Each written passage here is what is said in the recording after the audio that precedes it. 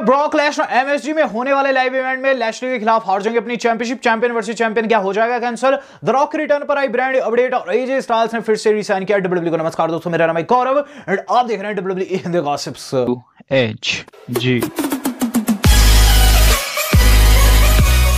तो आज की वीडियो काफ़ी धांसू होने वाली है और जैसे कि मैंने आपको वीडियो की शुरुआत में बताया इसके अंदर दोस्तों हम ये सब टॉपिक्स कवर करने के साथ साथ दोस्तों कई इंपॉर्टेंट न्यूज़ जो कि दोस्तों जैसे कि कोडी रोड से जुड़ी हुई है हम कवर करने वाले हैं। अंत में दोस्तों, हम बात करेंगे क्या चैंपियन वर्सेस चैंपियन कैंसल होने वाला है। क्या जो हमारे बॉबी लैशली है, वो एमएसजी में लेसनर को हराने वाले हैं। लेकिन उन सभी पर जाने से पहले इस आर की सबसे इंपॉर्टेंट न्यूज़ एजे स्टाइल्स ने कर दिया है। डब्ल्यू को रिसाइन जी हाँ ये एक ब्रेकिंग न्यूज़ है।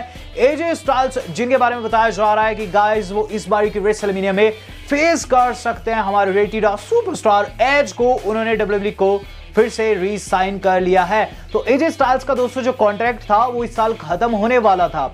अगर दोस्तों ये खत्म होता तो हो सकता था कि एजे स्टाइल्स के सामने एडब्ल्यू वाले एक बढ़िया कॉन्ट्रैक्ट रख दे और वो ईडब्ल्यू में चले जाते।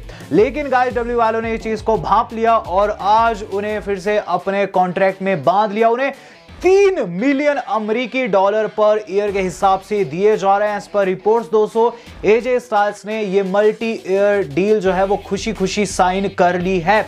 अब एजे स्टाइल्स अगले तीन से चार साल तक डब्ल्यू के साथ ही रहने वाले हैं, जिसका मतलब साफ़ है, दोस्तों, कि डब्ल्यू फिनोमिनल बनी रहेगी। चलते हैं, दोस्तों, इससे अगली न्यूज़ के ऊपर। तो इससे अगली न्यूज़ जो आज की हमारी जुड़ी हुई है, वो जुड़ी हुई है बिल गोल्डबर्ग से, जिन्होंने बताया कि उनके स्पीयर में और रोमन रेंज के स्पीयर में क्या फ़र्क है? हाल ही में दोस्तों गोल्डबर्ग का इंटरव्यू हुआ। As we all know Goldberg अब डब्ल्यू का पार्ट नहीं उनका कॉन्ट्रैक्ट खत्म हो चुका है।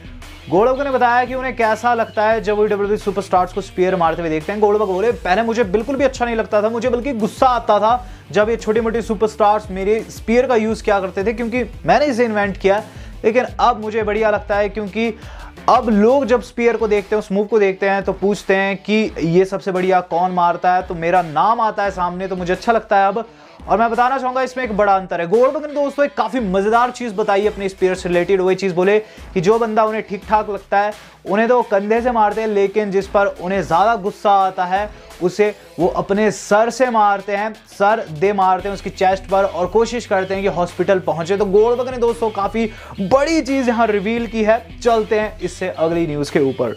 इससे अगली न्यूज़ जो आज की हमारी जुड़ी हुई है दोस्तों वो जुड़ी अपने डब्ल्यू डब्ल्यू के हार्दिक पांड्या से। तो कल दोस्तों एक बंदा काफ़ी ज़्यादा ट्रेंड हुआ है, जिसका नाम है दोस्तों कार्मेलो कार्मेलो दोस्तों एनएक्सटी के सुपरस्टार है। आपने इन्हें जाना भी होगा मेरी कई वीडियो में, मैंने इनको मेंशन भी किया है। कार्मेलो हेज जो है दोस्तों एनएक्सटी 2.0 के सुपरस्टार है और इन्हें दोस्तों कल काफ़ी ज़्यादा ट्रेंड किया गया ट्विटर पर।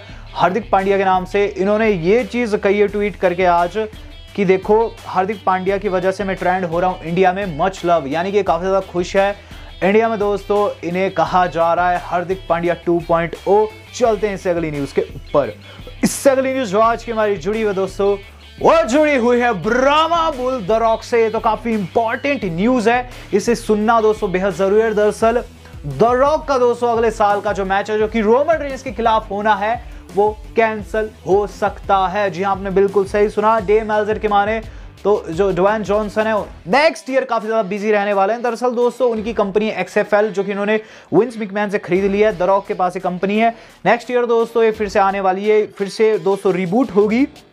और यहाँ जो दरॉक है, इसे एडवर्टाइज करेंगे ऐसे में। मिड रेसलमीनिया या फिर कह लीजिए रेसलमीनिया सीज़न के मिड में दोस्तों, जो दरॉक है, वो शायद से ही डब्ल्यू को ज्वाइन कर पाए। और यहाँ बताया जा रहा है कि अब ये जो मैच है, ये कैंसिल हो सकता है। हालाँकि बहुत से लोग इसे देखना भी चाहते हैं। जैसे कि दोस्तों विंस रूसो जो कि काफ़ी बड़े एक्सपर्ट हैं, उनका मानना तो ये भी है कि द रॉक इस ईयर की रेसलमीनिया में भी आ सकते हैं। तो अगर दोस्तों, द रॉक को आना हुआ तो वो आएँगे। लेकिन हाँ नेक्स्ट ईयर दोस्तों, उनका अब फिफ्टी फिफ्टी हो गया। अब देखते हैं आगे क्या होता है। चलते हैं इससे अगली न्यूज़ के ऊपर। इससे अगली न्यूज़ जो आज की हमारी जुड़ी हुई है, वो जुड़ी हुई है दोस्तों हमारे अपने ड्रेक मैवरिक से। तो गाइस ड्रेक मैवरिक के बारे में आप सब लोग जानते ही होंगे। ड्रेक मैवरिक हमारे फॉर्मर 24/7 चैंपियन जो कि गाय रॉक स्टार स्पर्ड के नाम से लड़ा करते थे। इंपैक्ट रेसलिंग में उन्हें अभी से कुछ समय पहले डब्ल्यू वालों ने निकाल दिया था। लेकिन गाइस बीते कल कुछ ऐसा हुआ कि आप मुझसे पूछे ना ड्रेक मैवरिक को डब्ल्यू वालों ने फिर से रिजाइन कर लिया है। दरअसल दोस्तों ड्रेक ने इसकी जानकारी दी हुई चीज़ लिखे कि काफ़ी ज़्यादा खुश है कि उन्हें डब्ल्यू वालों ने री साइन कर लिया है। प्लस दोस्तों, बताया ये जा रहा है कि ड्रेक जो है, अब एज ए रेसलर नहीं, बल्कि दोस्तों एज ए राइटर और से प्रोड्यूसर काम करेंगे W W E back stage तो अच्छा हुआ दोस्तों ड्रेक के साथ डब्ल्यू वालों ने इस तरीके का ट्रीटमेंट किया, क्योंकि ड्रेक की एज भी दोस्तों 40 के लगभग हो चुकी है। अब ऐसे में दोस्तों अगर वो रेसल नहीं कर पा रहे हैं या फिर दोस्तों उन्हें रेसलिंग करने को नहीं दी जा रही है तो अच्छा ही है कि किसी भी तरीके से डब्ल्यू का पार्ट है। तो दोस्तों इससे अगली न्यूज़ के ऊपर। तो इससे अगली न्यूज़ आज की हमारी जुड़ी हुई है, वो जुड़ी है दोस्तों द फिनॉम अंडरटेकर से। अंडरटेकर दोस्तों हॉल ऑफ़ फेम का हिस्सा होने वाले हैं। एज बी ऑल नो दोस्तों हॉल ऑफ़ फेम जो है वो सबसे बड़ा पुरस्कार रहता है डब्ल्यू के अंदर, जो कि सुपरस्टार्स को तब दिया जाता है जब दोस्तों रिटायर हो जाते हैं रेसलिंग से। अंडरटेकर दोस्तों एक ऐसे सुपरस्टार है जिन्होंने 1990 से लेकर 2020 तक डब्ल्यू को अपना 100 परसेंट दिया है और इस साल दोस्तों इंडक्ट हो चुके हैं। हाल ही में दोस्तों बुली रे ने यह चीज़ कही कि अगर इंडक्शन हो रही है तो उसमें सिर्फ़ और सिर्फ़ एक बंदा इंडक्ट होना चाहिए, जो कि है अंडरटेकर फैंस का भी यही मानना है, बुली रे ने दोस्तों बस्टेड ओपन रेडियो में इसका रीजन भी दिया। वो ये चीज़ बोले कि देखो, जो अंडरटेकर है, वो अपनी क्लास में सबसे अलग है। वो बंदा सर्वशक्तिशाली, सर्वशक्तिमान रहा एक समय पर डब्ल्यू के अंदर। और उसके लिए जितनी रिस्पेक्ट है, उतनी किसी के लिए नहीं है। रही बात हॉल ऑफ़ फेम की। हॉल ऑफ़ फेम के अंदर कौन उसे इंडक्ट करेगा, ये बड़ा सवाल है। तो ऐसे में बहुत सारे सुपरस्टार्स को स्टेज पर बुलाया जा सकता है, जो कि एक एक करके अंडरटेकर की तारीफ़ करे और फिर उन्हें इंडक्ट किया जाए। वो इकलौते होने चाहिए।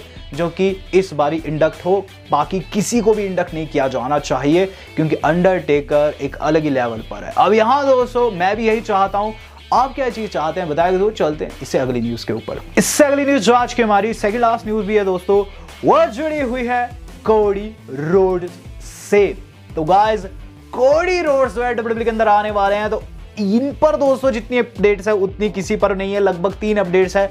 सबसे पहले अपडेट तो यह है दोस्तों कि कोडी ने अपना ट्वीट डिलीट कर दिया था। कोडी ने दोस्तों एक ट्वीट किया था जिसमें वो शायद रिटायरमेंट टीज किए थे। रिटायरमेंट के बारे में लिखे थे वो, क्योंकि गाइज़ हाल ही में उन्होंने ए को छोड़ा है। ऐसे में फैंस को लगा कि शायद वो रिटायर हो जाए, लेकिन अब उन्होंने चीज़ डिलीट कर दी है। प्लस दोस्तों दूसरी चीज़ क्या है? दूसरी चीज़ ये है कि जो कोडी रोड्स है, वो हमें प्रोबेबली रेसल का पार्ट होते हुए नज़र आ सकते हैं। और कल दोस्तों मंडे नाइट रॉ में उन्हें मेंशन किया गया दरअसल डब्ल्यू ने दोस्तों ट्वीट किए रॉ से जुड़े हुए, जहाँ उन्होंने डैशिंग वर्ड का, साथ ही साथ उनका जो थीम म्यूज़िक है, उस वर्ड का यूज़ किया अपने ट्वीट्स में, जहाँ दोस्तों ये चीज़ टीज कर रहे थे कि दमिस के वो हो सकते हैं टैग टीम पार्टनर लेकिन वो लोगन पॉल निकले हैं। अगर दोस्तों जो हमारे कोडी है और रेसलमेनिया का पार्ट हो रहे हैं तो मुझे क्या लगता है वो डेमिन प्रीस के ओपोनेंट हो सकते हैं फिन बैलर के बाद। चलते हैं दोस्तों आज की अपनी मेन खबर के ऊपर। तो मेन खबर जो आज की हमारी जुड़ी हुई है, वो जुड़ी हुई है दोस्तों हमारे अपने ब्रॉक लैशनर के टाइटल लूज करने से। तो गाइज़ ब्रॉक लैशनर जो है, वो फाइट देने वाले हैं पाँच मार्च को। एमएसजी हमारा दोस्त मेडिसन स्क्वायर गार्डन एरिना जो है ब्रॉक लैशनर की नाम की चैन लगाएगा शाम ब्रॉक लैशनर बॉबी लैशली को फेस कर सकते हैं। रॉ में हम लोगों ने देखा पॉल हेमन ने इस चीज़ की जानकारी दी। पॉल हेमन ने चीज़ कही कि तू जो है, वो दोनों टाइटल घर ले जा सकता है तब जब तू एक को ढंग से डिफेंड कर पाए। तेरा मैच मोस्ट प्रोबेबली लैशली के खिलाफ हो सकता है पाँच मार्च को, लेकिन वो तभी पॉसिबल है जब लैशली क्लियर हो पाए। अगर लैशली क्लियर नहीं हो पाया तो टेंशन नहीं लेनी। अपुन है, यानी कि पॉल हेमन है और वो तेरी वहाँ बुरी हालत करवा सकता है। कुल मिलाकर दोस्तों, उनका ये मतलब था और गाइज़ आपको बताना चाहूँगा, इससे पॉल हेमन ने इससे पहले ये चीज़ भी कही थी कि वो कुछ बड़ा करेंगे लाइव इवेंट्स में, और उस वक्त तो दोस्तों लेसनर के साथ ही थे। कुल मिलाकर दोस्तों पॉल हेमन का काफ़ी बड़ा रोल यहाँ रहने वाला है इस पर रिपोर्ट्स पर आपको मैं बताना चाहूँगा कि इसके अंदर जो हमारे लेसनर है वो टाइटल लूज नहीं करेंगे। जी हाँ, आपने बिल्कुल सही सुना। चैंपियन वर्सेस चैंपियन दोस्तों ऑन ही रहेगा। And the reason behind that कि बॉबी लैशली का नाम यूँ ही लिया जा रहा है। बॉबी लैशली दोस्तों वहाँ कंपीट ही नहीं कर पाएँगे। एज पर रिपोर्ट उन्हें इंजरी आ रखी है चार महीने के लिए। दोस्तों डब्ल्यू से गायब है। वहाँ दोस्तों कोई और होगा जो कि दोस्तों ब्रॉक लैश को फेस करेगा। प्लस आपको बताना चाहूँगा जो लाइव इवेंट है डब्ल्यू का ये नहीं आएगा टेलीविज़न के ऊपर है टेलीकास्ट नहीं होने वाला और इसीलिए दोस्तों पॉल हेमन ने इसे मेंशन किया ताकि ज़्यादा ज़्यादा टिकट्स की बिक्री हो। प्लस आपको बताना चाहूँगा ब्रॉक लेसनर के ऊपर एक इंपॉर्टेंट अपडेट ये भी है कि गाइस जो ये मंथ आने वाला है, यानी कि मार्च का मंथ उसके अंदर दोस्तों वो स्मैडआउट में ज़्यादा दिखाई देंगे बजाय मंडे नाइट रॉक के। यहाँ दोस्तों ब्रॉक लेसनर जो है, वो चैंपियन बने रहेंगे और कोई भी चांस नहीं है दोस्तों कि वो टाइटल लूज करे। आप दोस्तों देख भी सकते हैं स्क्रीनशॉट में क्या कुछ लिखा है। रिपोर्ट में क्या कुछ लिखा है। ब्रॉक लेसनर दोस्तों एज ए फुल टाइमर दिखने वाले हैं अपने रेसल मीनिया के रन में। और गाइस रेसल मीनिया में भी उनके काफ़ी बढ़िया चांस रहेंगे। अब देखते हैं दोस्तों लेसनर क्या बन पाते हैं डबल चैंपियन या फिर नहीं। सवाल आपसे भी है, क्या आप रोमन रेंस को ज़्यादा सपोर्ट करें या फिर लेसनर को? कमेंट करके मुझे जो बताएगा। वीडियो पसंद आई, वीडियो को लाइक एंड शेयर ज़रूर कीजिएगा। आज तक के लिए इतना ही। धन्यवाद। शब्बा खैर।